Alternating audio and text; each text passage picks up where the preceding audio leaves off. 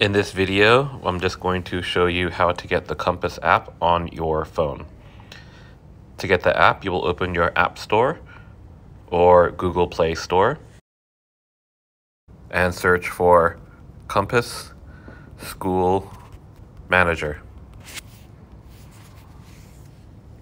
You want to get the one that has this blue icon here and download that one for free. Once you've got it, you want to allow notifications and type in Playford College. If you just type in Playford, you should see Playford College there.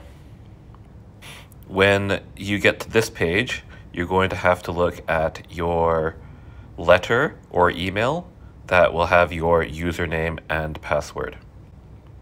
Your username should be your email address, and there should be one for the father and one for the mother of every family.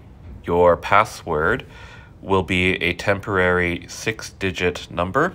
Type in your username and password, and then click sign in.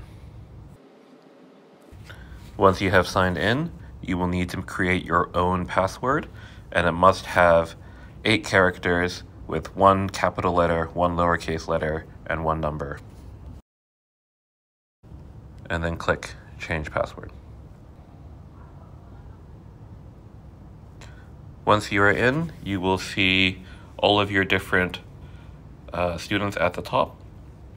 You can click on to different students to see different um, attendance and classes, and you can click on each subject to see the teacher. So if you're not sure what teacher teaches your child science, for example, you can click on the science and see the teacher.